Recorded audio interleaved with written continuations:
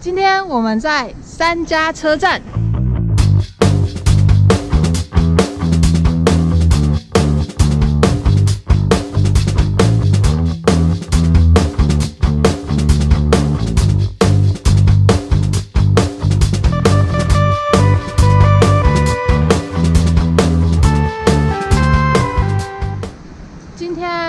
来到三家车站附近，主要的原因是接受到大学老师的邀请，一起来三家社区这里来一个深度的导览之旅。但是其实我有点小迟到，所以我们现在赶快先去追上学弟妹的脚步，看看还不能跟上第一场的导览。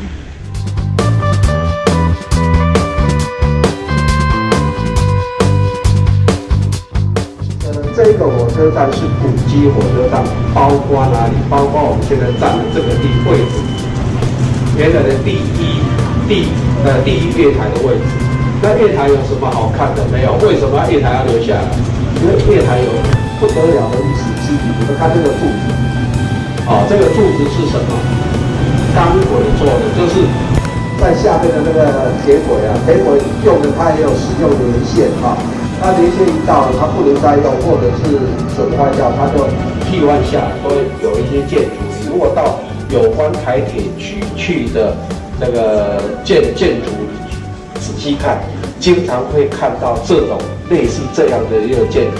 那这一栋建筑物，它了不起的地方在哪里？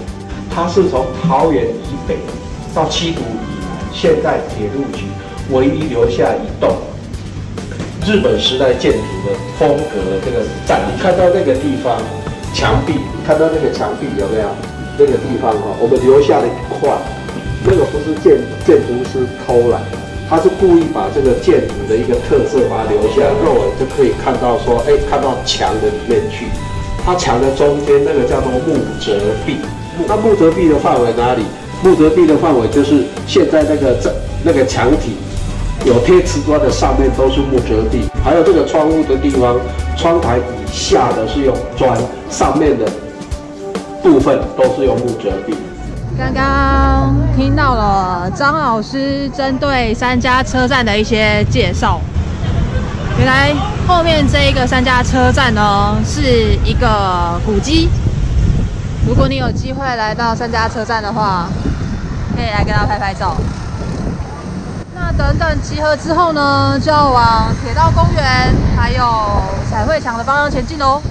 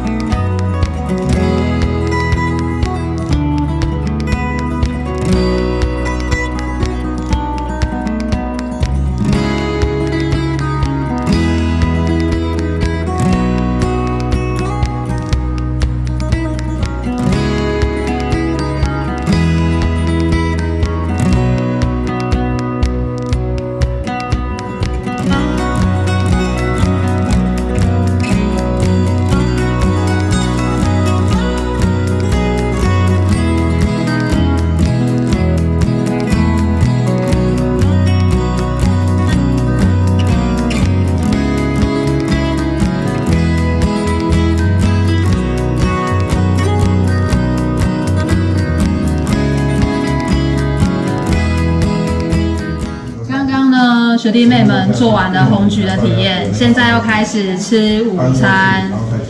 听说下午要闯关，所以必须要吃饱才走得动。那我们就来吃饭吧。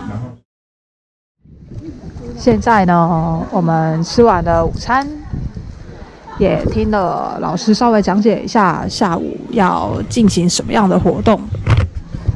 现在呢，就跟着学弟妹们回到车站附近。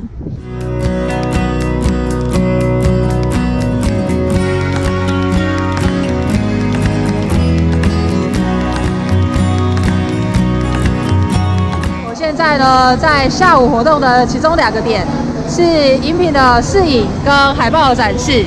刚刚学弟妹们呢，花了很多的时间在进行布置以及饮品的前置作业，还蛮期待他们调出来的饮品的。等等就可以来试喝一番。那现在呢，要跟着他们继续去进行下午的活动。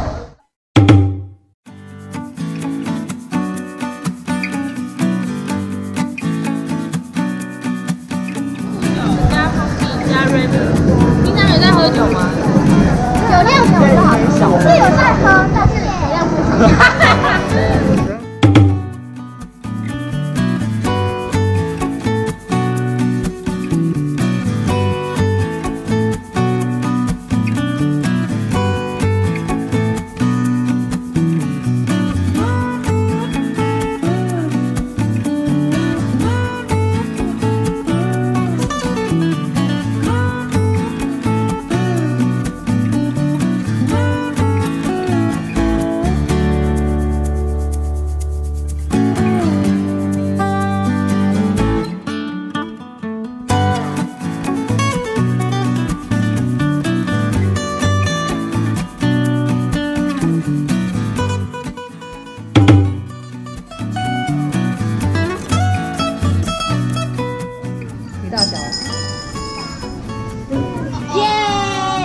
六组哎，这样子。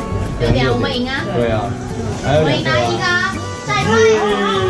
你们里面放的就是葱，对，有很多口味啊。有很多口味。所以他们今天拿的是今天的都是葱原葱的都是葱。那你们平常除了一般还有什么？一般的就我们招牌是这个爆浆的，里面加蛋。哦，看起来很厉害耶。好，大家来三家可以吃对，很厉害的小葱饼。